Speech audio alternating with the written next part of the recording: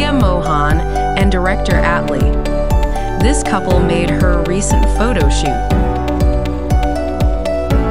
They look beautiful, and this couple become one of best and popular couple in Indian film industry.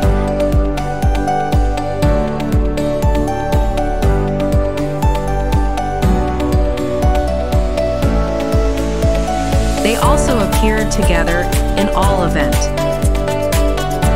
Director Atlee made super hit movie Jawan with Shah Rukh Khan. This film make them popular in Bollywood industry.